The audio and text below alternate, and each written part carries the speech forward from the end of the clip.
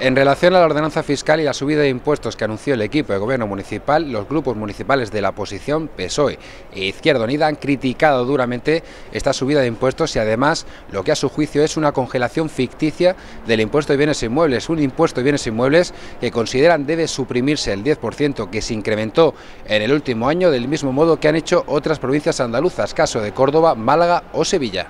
Los dos principales grupos municipales de la oposición han sido claros y rotundos en cuanto a su postura sobre la congelación del impuesto de bienes inmuebles. Una congelación que han considerado ficticia ya que desde que José Torres Hurtado llegase a la alcaldía este impuesto se ha visto incrementado, señalan, en más del 60%.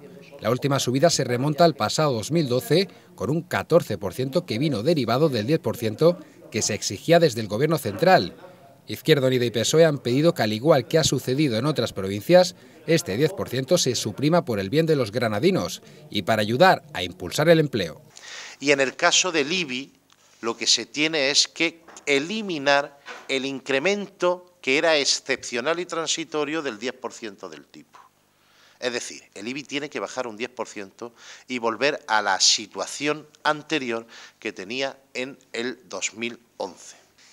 Si realmente el señor Torre Hurtado tuviera alguna decencia, habría tomado ejemplo de su compañero de partido, el señor Zoido, el alcalde de Sevilla, que ha aprobado para los sevillanos una bajada real del 13,41% del IBI.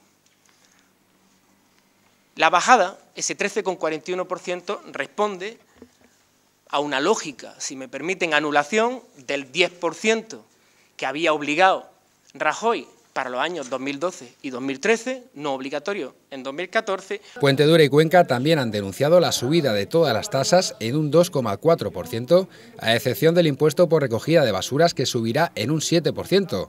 Además, los dos ediles y también el concejal socialista Baldomero Oliver han criticado que las bonificaciones que aportará el equipo de gobierno van únicamente destinadas a beneficiar a las entidades financieras en lugar de a las familias desahuciadas. ¿Cuál es, la idea que tiene el señor Ledesma? Y sobre todo, me da igual. Asumo que el señor Ledesma quiera bonificar a los emprendedores que utilicen su domicilio para montar un negocio. Pues hombre, aplícale el 95% que te permite la ley de bonificación. Es que son mezquinos, incluso a la hora de dar bonificaciones para los emprendedores. Desde el equipo de gobierno municipal han vuelto a reiterar que esta ordenanza fiscal viene para incentivar el empleo. El, Partido Socialista, mm, la verdad que muchas veces no se sabe muy bien eh, cómo esboza la crítica. Yo me he visto esta mañana muy sorprendido en algunos medios de comunicación que leía eh, falta de medidas para incentivar eh, el empleo y la generación de riqueza económica en nuestra ciudad eh, con la aprobación de la ordenanza fiscal de la ciudad de Granada. Precisamente uno de los grandes aliados y de las grandes fuerzas que tiene esta ordenanza fiscal precisamente es esa.